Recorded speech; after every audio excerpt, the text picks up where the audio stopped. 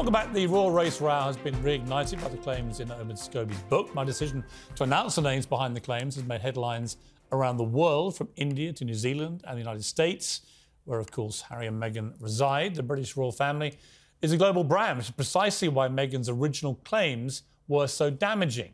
Now we know much more about the allegations. Does anyone really still believe them? Well, join me to discuss this, our Talk TV contributor Esther Krakue, political journalist Ava Santina, and from New York, the Talk TV presenter Trisha Goddard. All right, Esther, we just had a rather animated debate mm. about all this, yes. uh, which I thought was a little unnecessarily uh, over the top. Um, what's your view about all this? I, I think the people's uh, well desire to believe whether the royal family are racist or not stems from what they originally feel about the royal family to begin with. If you think the royal family is an antiquated institution that's you know rooted in white supremacy, of course you're happy to believe that you know the racism allegations were true. If you're a staunch monarchist, you're like they can never do any wrong. And for the rest of us, we're thinking, okay, what's the evidence? Because at the end of the day, the monarch is still our head of state, mm. and it, it's important that they're obviously not bigoted individuals. And that's where I that's the camp that I fall in. At the end of the day, I don't see any evidence of racism. I've said this before. I, I, I, am from a Ghanaian family. If I was having a child with someone who wasn't of my race, my, my family would have conversation about what the child would look like in a jovial way. Of course. And I think there was an element of bad faith. Of course. So if it, was, if it was that, there's nothing wrong with that anyway. But we don't know that. We don't, no come on. Like, come on. No, I'm, if, I'm there's serious. A, if there's been a conversation behind doors about, you know, the child's skin colour, obviously. Okay, answer me this. Answer me this. It, hasn't it? Meghan's mother was in an interracial relationship, which is Meghan, which is Meghan is a product of. Meghan's family would have undoubtedly had conversations. Oh, what's Meghan going to look like? I wonder what she's going to look like since your husband is white. Would that have made her family racist? Do you think that... That's no, a very answer, good question. Answer that. Would okay, that have made Meghan's family racist? can I answer racist? it with this point that do you not think That's that that is skewed? That is skewed by your now with the British monarchy, and they are they are no, assessing whether they're, that they're child human is beings. too dark to because, be in the royal family. Human, one, but you don't believe that. You don't believe that was the way that conversation went down. I wasn't there. No, but you believe None of us were there. Does any of it make sense that Charles and Kate, of all people, right, people who've dedicated their public life to actually being completely inclusive, never said a racist word in their lives, that suddenly they're going to be saying, I hope it's not too brown. But hold on, hold on. Let me answer that. Let me answer that. I'm going to be extremely careful with what I say because of libel law, but I do think that there is some racism in the royal family, not necessarily... That's, not, that's, hang that's on. fine. I'm not going to put that on any individual, but yes, I could imagine a world that's, that's, where there are... There are All right, let me bring in Trisha, who's been waiting patiently. Trisha, look, let's try and have a you know, sensible conversation about this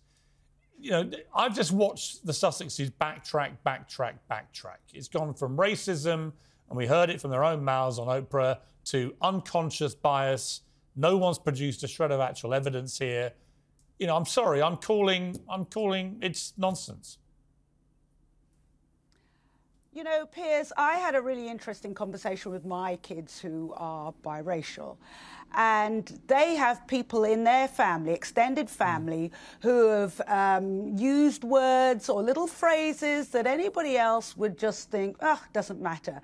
But because of their personal experiences, they've had to sit down with those people and say, you know, this term is not acceptable. I know you think it's a joke. I know you think we should light, lighten up, but within our family, it, it hurts. It's painful because of our experience. Now, if I can say that there's somebody out, you know, people in our family who've had those conversations, and yes, they're hurtful. Where if somebody comes along after the fact, two years down the track, and makes it all public and it blows it up, it becomes even more painful. And people, you, when you talk about backtracking, can I rephrase that? Sometimes we can learn. I've watched you grow, if I can put it that way. We're never too old to learn. I've seen you learn, as I have, with lots of different things around Israel, Gaza. We learn, we learn, we learn. What if, let me just put this to you, what if, since they initially came out with what an American sees as racism, and I do think there are cultural differences. Yes, Just because we're all brown doesn't mean to say we all think the same. But what if from there they've learned, and it, it's not so much as backpedaling, because I'm just thinking of family members within ours. It's like, oh, okay, yeah, I shouldn't have said that, or uh, maybe they weren't being, they didn't mean to be racist, but they didn't even realise they're so used to being casual about it, they didn't realise it would hurt us. But I have to say about Omid Scobie, he is like the uncle who turns up two years after the fact at a Christmas party and shows off the, the, the messages that you texted them two years ago when you were drunk. Mm. I mean, when I heard this book was coming out, can I say this? Are we uncensored? Yes. Should I be honest? What yes. I really thought? Yes. I thought, what the f- I'm sorry, sorry.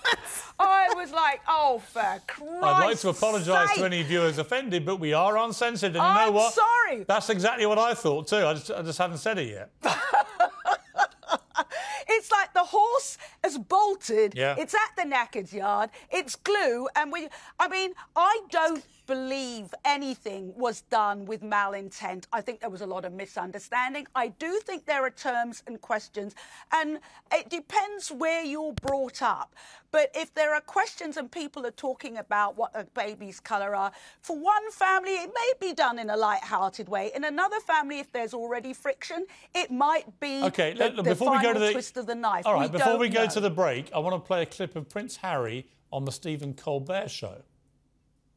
The ginger gene is a strong one. Look at that. Both of them. The, Spen- both the, of them the, Spence- the Spencer gene is very, very strong. I actually really genuinely thought at the beginning of my relationship that should this go the distance uh, and then we have kids, that there's no way the ginger gene will stand up to my wife's genes, but I was wrong. Wow, isn't he speculating about the skin colour of his baby? Wow. Uh, let's take a break. We'll come back and debate that after the break.